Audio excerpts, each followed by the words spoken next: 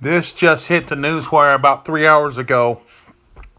Seattle's police chief has sent her resignation letters through email to all of her police officers.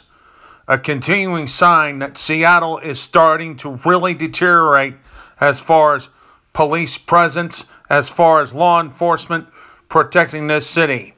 It's the latest indication that the deep state is pulling out all the stops to defund cops, to essentially just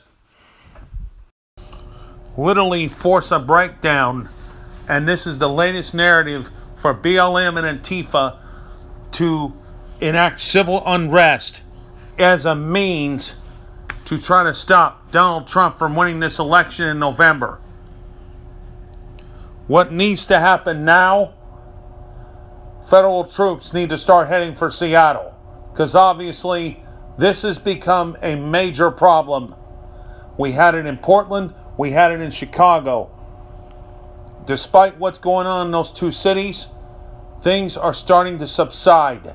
Seattle is now a hotbed, and it is going to continue being a hotbed now that the chief of police has now expected to step down on September the 2nd of this year things are really starting to get out of control in Seattle, and now the police chief gone.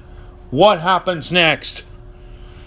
This is what the deep state wanted civil unrest to where we can't have validated elections in November, civil unrest to where we are basically biting each other's ears off and their necks.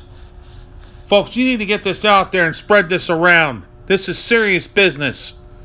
And in the meantime, I will see you in the next video. Be vigilant.